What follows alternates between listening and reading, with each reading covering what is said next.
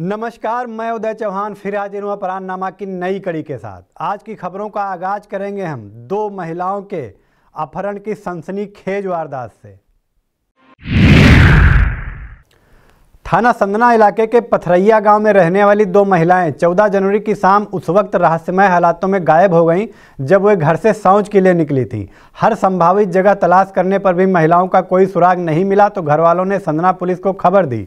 Sandna police गुमसुदगी दर्ज कर तलाश में जुट गई। इसी बीच आज रिश्ते में देवरानी जेठानी नाटखी ढंग से वापस आ गई। महिलाओं ने बताया कि कुछ नकाबपोश बदमाशों ने उन्हें अगवा कर लिया था।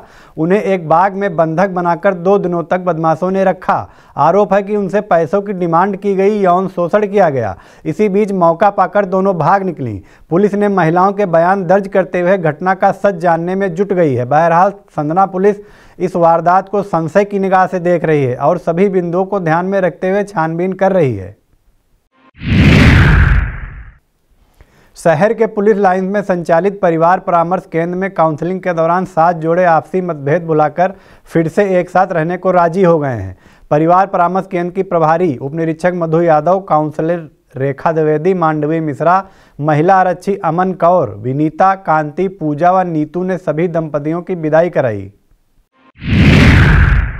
अवैध शराब निष्कर्षण, बिक्री एवं परिवहन की रोकथाम को लेकर सीतापुर पुलिस का चेकिंग अभियान जारी है।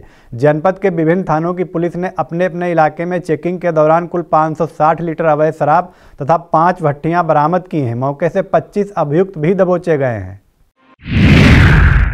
थाना तालगांव पुलिस ने जिला मजिस्ट्रेट सीतापुर द्वारा जनपद की सीमा से छह माह के लिए निष्कासित किए गए जिला बदर अभियुक्त विनय कुमार रैदास पुत्र रामलाल रैदास निवासी तेवला को गिरफ़्तार किया है। वहीं थाना पिसामा पुलिस ने जिला बदर अभियुक्त हरिओम कनौजिया उर्फ़ हरिओम, पुत्र राम प्रसाद निवासी ममरौला को गिरफ़्तार किया है। अभियुक्तों के विरुद्ध यूपी गुंडा निवारण अधिनियम पंजीकृत करते हुए अग्रिम कार्रवाई की गई है।